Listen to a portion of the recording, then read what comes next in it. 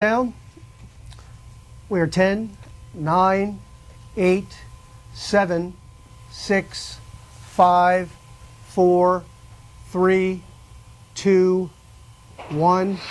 Ignition, start, and we have liftoff of an ILS Proton rocket from the Baikonur Cosmodrome in Kazakhstan with the Viasat-1 satellite on board. In about 10 seconds after liftoff, the rocket does a roll maneuver will soon experience max dynamic Q uh, or max dynamic pressure.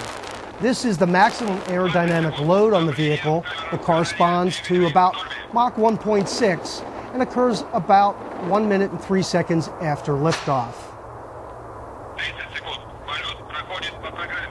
Jim, this has been probably one of the prettiest nights I have seen one of these rockets go up.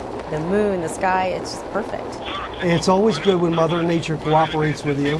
It's difficult enough launching a rocket, but to have a beautiful night, beautiful weather, and of course the added dimension of the moon, just wonderful. So far, so good, it looks. So far, so good, as our Russian colleagues say. Uh, everything seems to be proceeding nominally as the vehicle heads in an easterly direction with a flight azimuth of about 61.3 degrees.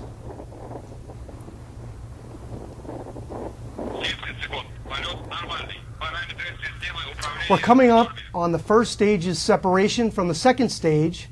That is set to occur at two minutes into the flight. We're about 40 seconds away. As you can see from the video, the trail from the engines, engines looks very, very good.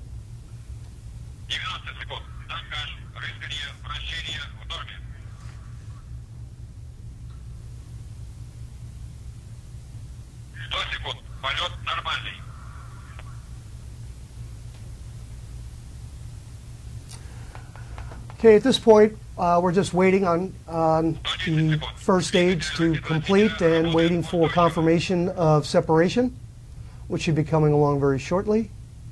We can see from the trail the first stage is burned out.